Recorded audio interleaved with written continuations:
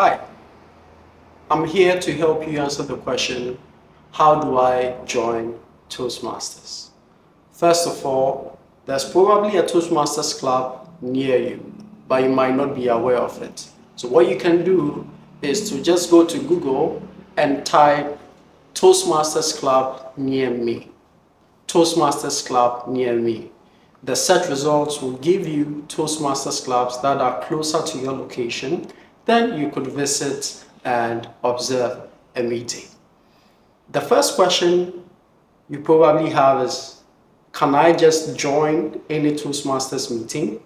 Yes, guests are invited to Toastmasters meetings, which means that you can walk in to any Toastmasters meeting and observe. You don't need any special ticket. You don't need to pay any fee to observe a Toastmasters meeting. However, there might be some clubs that are considered closed clubs. And most of these clubs are corporate clubs, which means that they are localized in an institution. So for example, a bank might have a Toastmasters club within the organization, and that would only be open to members of the bank or staff of the bank.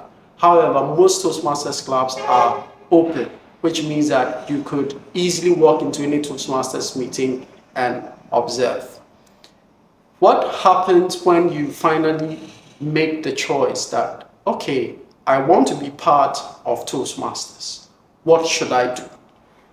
After you visit a few clubs, and it's advisable to visit a number of clubs because different clubs come with different club cultures, which might be appealing to you. So for example, club A might have a particular club culture which you are interested in and you think might vibe well with you. Therefore, you have to visit a number of clubs in order to assess that for yourself. Now, when you finally make the decision to join, all you need to do is to approach the club executives. So the very club that you want to join, they are club executives within the meeting. And usually the club executives would approach you at the end of the meeting and say that, hey, if you're interested in joining, this is the process. So you would have that readily available for you. However, there are certain things that you need to know that Toastmasters International is a non-profit organization. However, it is a volunteer organization, which is a self-paced system. And therefore, we pay subscription or what we call the renewal fee to Toastmasters. Every six months, Toastmasters or members of Toastmasters renew their membership to Toastmasters. And what that does is that it gives the Toastmaster access to certain course materials. The course materials or the courses in Toastmasters are termed as paths. So there's a pathway program that provides a number of courses that enables the Toastmaster to achieve and learn certain competencies. Therefore, the $60 that we pay every six months is to make sure that you're a member in good standing. Now, the courses that I mentioned come at a cost of $20. It comes at a cost of $20, which means that when you are joining as a new member, a completely new member to Toastmasters, you are going to pay $80. And these figures that I'm mentioning are the current figures as at the time of this video. Probably in the future, it might be lesser or it might be more. So at the time of joining, just confirm with the executives what the actual figure is. But as of now, we pay $60 every six months to renew our membership.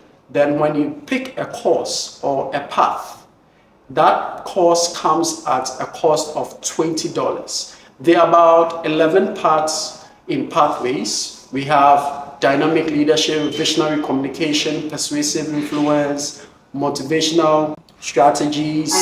We have visionary communication. We have engaging humor. We have presentation mastery, and so on. And all these parts ensure that you leave with a particular skill set at the end of the path. So if you're someone who is interested in mastering your presentation skills, then it's likely the presentation mastery path will be good for you.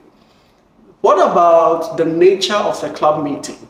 Certain clubs meet physical at a physical venue, meaning that you have to walk into a meeting in order to observe a meeting. Some clubs meet virtually, that is via virtual application like Zoom, Google Meet, Microsoft Teams, and what have you. And that became necessary after the COVID-19 pandemic, where there was a lockdown and we had to resort to the virtual space. So most clubs today are still meeting virtually. Some clubs do combine the physical setting and the virtual setting, which means that you can walk into the meeting, but in the same meeting, there'll be an online audience. So there'll be a projection of an online audience into the meeting. So that's a hybrid. My club, for example, Busy Speakers Toastmasters Club, meets in a hybrid setting. So we have a physical setting, physical audience. In the same meeting, we have a virtual audience. Now, as a new member, it's advisable to have an experience of both, but the full experience of Toastmasters comes with a physical setting. You have to have both, both the experience of the physical setting and the hybrid setting. I hope this answers your questions. Let me see if I've answered every question. Just give me a minute. Yeah, basically that's it. But just for confirmation, once you are registered, and what the registration process entails is you give out your basic bio information, your name, your address, your email, your phone number, and that information is forwarded to Toastmasters International. So after the application is processed, you would receive an email notification with a membership ID from Toastmasters. And that membership ID is what confirms that you are now a Toastmaster. It is the same membership ID that you are going to use to access the Toastmasters portal, what we refer to as Basecamp, to access most of your course materials. So I hope this helps and do enjoy a Toastmasters meeting. You are always welcome to a Toastmasters meeting. Toastmasters, where leaders are made.